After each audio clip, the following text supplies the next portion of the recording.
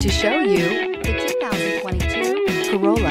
The Corolla is still a great option for those who want dependability, comfort, and value. This vehicle has less than 100 miles. Here are some of this vehicle's great options. Tire pressure monitor, blind spot monitor, electronic stability control, heated mirrors, alloy wheels, aluminum wheels, remote engine start, brake assist, traction control, stability control.